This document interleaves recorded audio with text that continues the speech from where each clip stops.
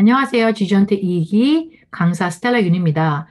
LOI 성공 의향서를 제출하라는 타픽으로 여러분들과 함께 이야기해 보도록 하겠습니다. 성공 의향서, letter of intent. 우리가 어, 성공하기 위한 내가 성공 의향서를 제출한다는 어, 개념을 이야기하고 싶은데요. 자, 협약서의 의미입니다. 협약서란 계약 당사자들이 계약의 내용을 자율적으로 협의하고 이에 대해 상호 준수할 것을 명시한 문서를 의미하는데요. 과연 무엇일까요? 바로 이것입니다. 내가 성공하기 위해서 내가 직후 안에서 내가 테트라포드 USA 팀 안에서 시스템을 배워가면서 내가 1년 동안 어떻게 이 사업을 전개할 것인가, 나의 의지, 그리고 나와 함께 할 업라인 또는 파트너분들과 함께 어떻게 협업하여 이 사업을 잘 이끌어갈 것인가에 대한 선언을 선포하는 것입니다. 성공으로 가기 위한 나의 의지와 또 함께하는 분들과의 선언을 통해서 내가 이 다섯 가지를 이야기하는데요. 첫 번째, 성공 의향서 첫 번째, 나는 성공을 꿈꾸는 직구포로서 본 의향서를 제출한 날부터 12개월 동안 정해진 프로그램에 따라 최선을 다해 배우고 행동하며 가르칠 것을 약속합니다.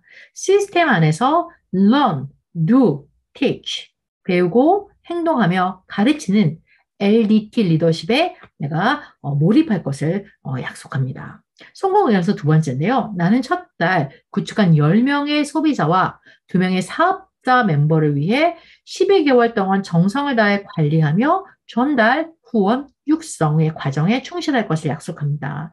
내가 전달하는 과정에서 내가 누군가를 후원하는 그리고 리더를 육성하는 단계에 이르기까지 내가 먼저 리더로 우뚝 서서 그리고 또 나와 함께하는 파트너를 리더로서 코칭하고 멘토링할 수 있는 리더로 설 것을 약속합니다. 성공 의향서 세 번째인데요. 나는 유니콘 binary 텐트 프로그램을 진행하면서 슬럼프가 오거나 의욕이 상실할지라도 upline 스폰서를 믿고 서로 인내하며 극복해 나갈 것을 약속합니다. 성공으로 가는 길은 쉽지 않죠. 어느 날은 잘 되는 것 같고 어느 날은 힘들 때가 옵니다. 그러나 그런 슬럼프가 올지라도 의욕이 상실될지라도 내가 그것을 나의 goal을 향하여 꾸준하게 지속력을 갖고 갈 수 있도록 내 스스로가 인내하고 극복할 것을 약속하는 단계입니다. 성공에서 네 번째인데요. 나는 매달 주어진 프로그램과 꼭 해야 할 사항을 준수하며 어떤 일이 있어도 포기하지 않고 꾸준히 이행하며 성공자의 위치에 우뚝 설 것을 약속합니다. 내가 어떠한 일이 있어도 never give up. 포기하지 않겠다. 내가 어떤 일이 있어도 이것을 내가 준수하고 이행하면서 나아가겠다. 그럴 때 내가 바로 성공에 이를 수 있고 성공자 위치에 우뚝 설 수 있는 것을 믿고 나가겠다라는 성공 의향서 네 번째입니다. 성공 의향서 다섯 번째는 나는 자기 성장에 우선하며 목표 관리, 인맥 관리, 시간 관리를 통해 라이프 스타일을 업그레이드하고 다른 사람들에게 선한 영향력을 미치는 글로벌 리더로 성장할 것을 약속합니다.